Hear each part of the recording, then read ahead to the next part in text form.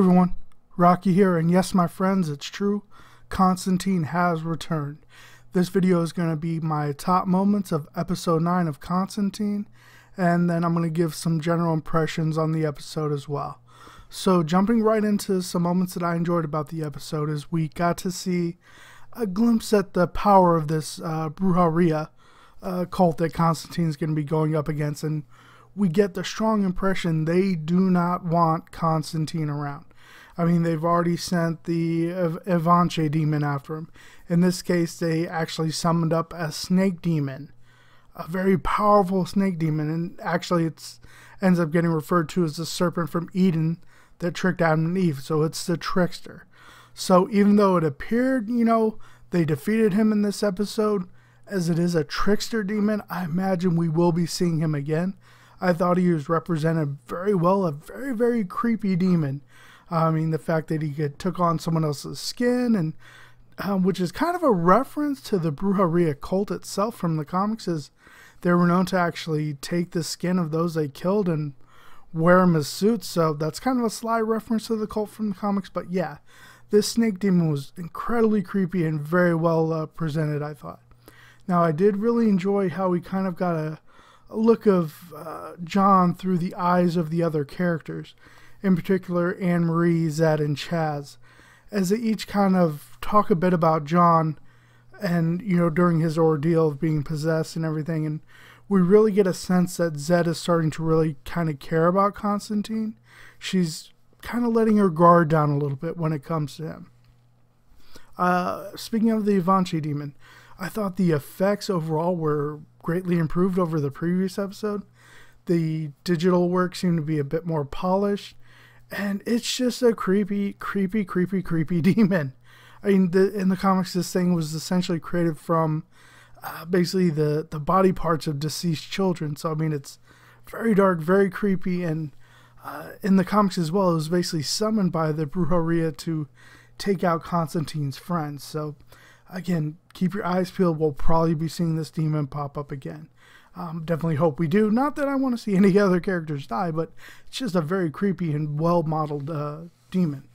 Um, so, all overall, like the biggest thing I got from this episode, or the biggest thing that was impressed upon me, was Matt Ryan uh, as Constantine. I mean, at this point, he's fully immersed himself into the role of Constantine. I can't really picture anyone else playing this character. And straight from the beginning, with this scene from him inviting Pazuzu into himself, um, just as a side note, Pazuzu is actually the same demon name um, of the demon referenced in the Exorcist series. So I thought that was kind of kind of cool there. But yeah, just from that first scene of him inviting him in, and his performance is just crazy overall. I mean, they did use some digital effects to represent the the possession, but a large part of the possession was portrayed by Matt Ryan himself.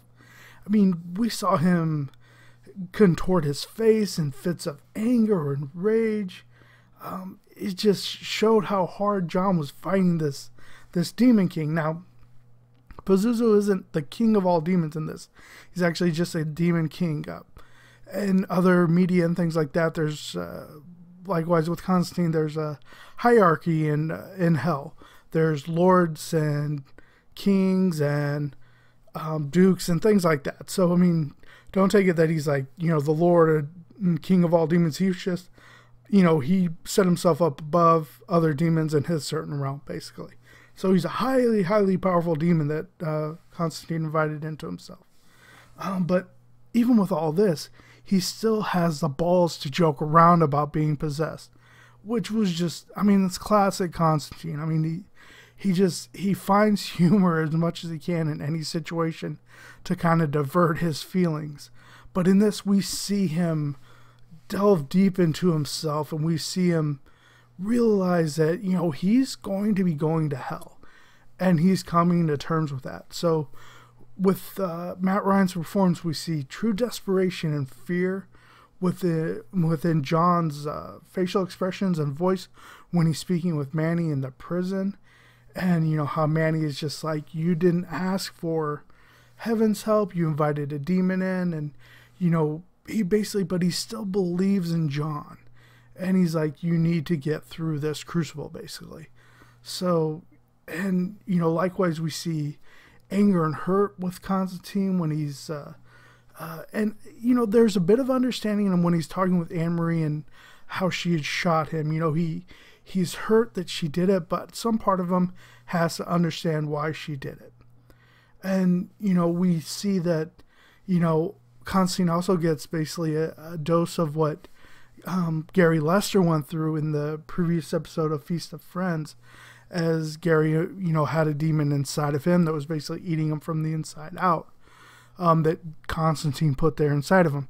You know, granted, it, you know, Gary, you know, chose that to to happen, but still, John put that on his friend, so he's kind of reaping what he's sown. So we're going to see a lot of that with John at this point, is seeing him progress character wise to move on beyond the what he is now, kind of thing. So kind of pushing him more into that eventual hero role that you know he's supposed to take on. Um, so yeah, all all over the range of emotions Matt Ryan showed, and I mean, I thought it just his performance just blew me away. I mean, he has such dedication to this character, and likewise with pretty much all the other actors on the shows, they have such dedication and care to their characters and are very immersive uh, actors when it comes to their characters. So, uh, really enjoying that aspect of the show. So, all in all, this was a very powerful and well written episode, I thought. It gave us as the audience a bigger look at this, you know, rising darkness, this brujeria that uh, John and his friends are going to be facing. Was it over the top in some moments? Yeah, sure, I'll admit it, it was. But in this case, it worked. I, it seemed to fit. And I, for one, definitely enjoyed this episode a great deal. I hope you guys did as well. So, looks like in the next episode, we're going to get our first look at Felix Faust. Uh, so, it should be a pretty great episode. Uh, Felix Faust in the comics uh, was kind of a minor villain. He popped up a lot. He was one of those annoying villains that just kind of was a thorn in the side of the Justice League. He was in the animated series as well, quite a bit in particular with Wonder Woman and dealing with her, but he's, you know, potentially a very powerful uh, magician. He is basically kind of a relic hunter. He looks for powerful magical items and he's very keen on making deals with higher powered entities. So, you know, I'm sure we'll be seeing some aspects of that. And it definitely appears to be a more Chas centric episode as it's going to deal with his daughter. So, we're going to get some more information about Chas, which is what I've been waiting for um, just to kind of see what's going on with him and how exactly he's essentially immortal now, right? So hopefully we'll get some more information on that. Now, I know right now the show's future is still pretty rocky and uncertain, and there's a lot of rumors going around that it's still going to be canceled, but you know, the ratings compared to other shows is pretty good considering the time slot it's in and the fact that it hasn't been getting that much marketing push from uh, the studio a lot of the uh, promotion's been going on from the actors themselves over Facebook, Twitter, and other social media. Um, and, you know, it hasn't actually had a UK release, which strikes me as very odd considering that Constantine is, you know, essentially a British superhero. So if anyone should be getting UK release, it should be him, or at least international release. So that's something I think that's really hurting the show as well. But um, overall, I am definitely sticking with this show and behind it 100%. I hope you guys are as well. Um, go and let me know down in the comments below what your favorite part of this episode was. And if you have any questions on any of the topics or characters presented in this episode, go ahead and put those down below as well. I'll be happy to go over that information with you.